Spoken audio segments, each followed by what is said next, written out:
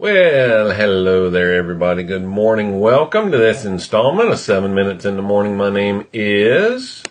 Oh, look, there it is, Thom Rigsby. Your host for the next, uh, seven ish minutes or so.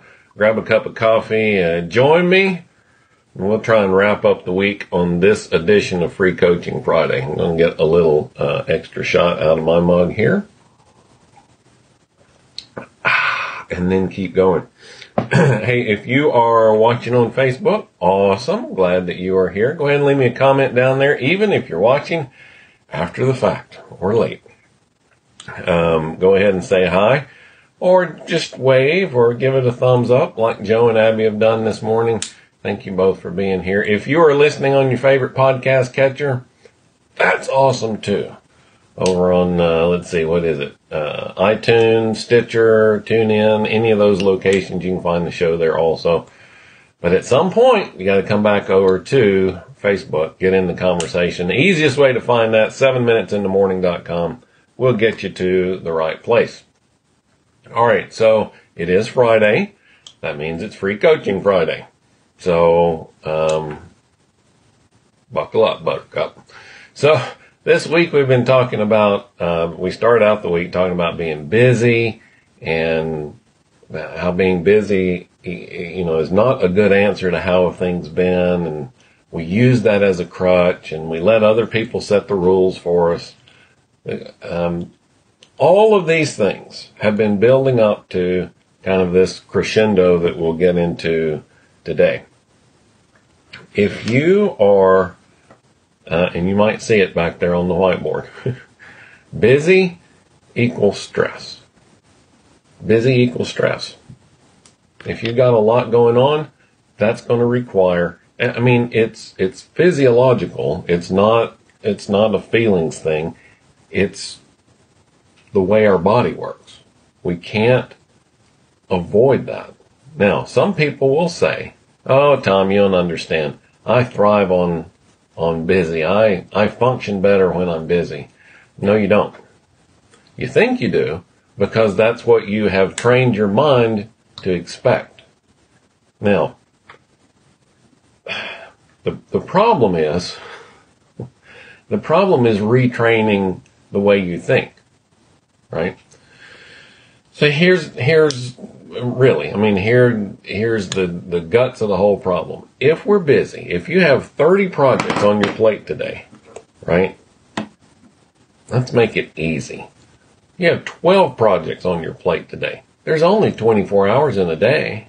The best you're going to be able to do is a couple of hours for each one. Is that really going to allow you to apply your best and highest effort to each one of those projects? No. It's just not. That's why, you know, one of the very first things, if you've listened to more than probably three of these shows, you've heard me say, you know, you can only have one priority. One priority a day. And I get pushback on that every time that I say it. Well, that's, it's just, that doesn't work for me. You can only do one thing at a time. You, you can only give your best and highest effort to one thing at a time right? Go ahead and, and figure out what that is. The example I use all the time. If you get to the end of the day, you have these two things, two number one priorities, have to get done today. You get to the end of the day. There's only five minutes left in the day. Both of them require 10 minutes to complete. You're going to pick one to do it. Well, that was really the priority all day long. You just didn't admit it. And then you stressed about it all day trying to figure out how to get both of them done, wound up getting neither of them done until you're pressed into a corner. Go ahead and choose up front. This is the one. Now, here's the cool thing. After you finish that priority, you can pick another one. That's how we're tricking our brain into working for us, right? But you can't go around all day thinking, well, I've got two priorities. You've got to commit, be committed to that one priority. Now, Here's what that lets you do. You can apply the two no's to it. All right. One, you know what you have to get done. You choose, you've chosen that priority. That's the KNOW. You know what you need to do. Now you apply the second no, N-O, say no to the things that prevent you from doing that. If somebody calls you up and says, hey, I need 10 minutes, like, nope, sorry, I've got this one priority I'm working on. As soon as I finish that, I, I can, I can give you 10 minutes. Or maybe you can say, got this thing I'm working on. It's my priority today. I'll be done by 11. How about right after lunch? I just, you know, whatever the case may be. But don't I mean, think about it in your own life. If your if your priority project today is only going to let's say it's going to take three hours, and you plan to get all three hours done in the morning, seven, eight, and nine, boom, got it knocked out, and I'm done by ten o'clock. And then you get a phone call. Hey, can you come look at this? Hey, can you come to this quick meeting? Well, I only need three hours, so yeah, I can jam a couple of things in here. Then you start derailing your thought process. You lose the leverage of accumulated momentum behind the project, and before you know it, you get to the end of the day, and you're not done. That's where busy, allowing those little interruptions to, to come in, that's where busy creates stress because you're still stressed about getting the big project done, and you're just not able to focus on it. So, no, K-N-O-W, know what you want to get done, and no, N-O, to the things that get in your way, right? Don't, just like we said earlier this week, right? The people that are going to, but successful people are the rule breakers, right? Don't let other people manage your calendar. Say no. Now, that's a hard thing for a lot of people to do. They don't want to say no. Well, what if I miss out on something? You'll, if it's important, you'll find out. If it's not, you won't. And you know what? It'll be okay. You won't miss it. So, there you go.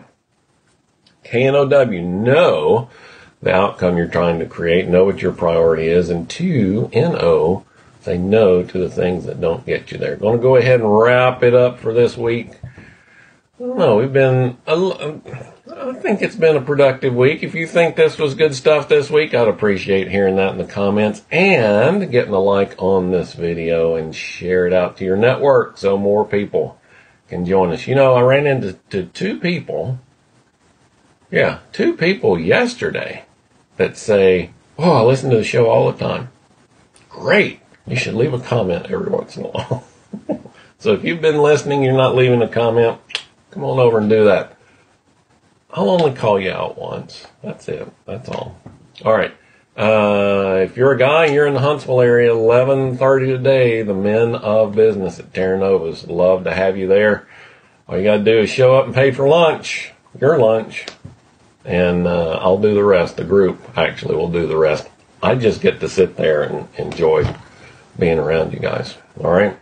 So uh, if you need any more information about that, let me know. And one more thing, I'm going to put that back up there because I had some more questions about that. If you'd like to get in on the Fast Five program, that's five steps to start creating the results you desire. You can go pick that up. That's free on the website, thomrigsby.com slash fast and the number five, fast five. That will get you there. Okay. That's it for this week. You guys have a great weekend and I'll talk to you again on Monday. Take care.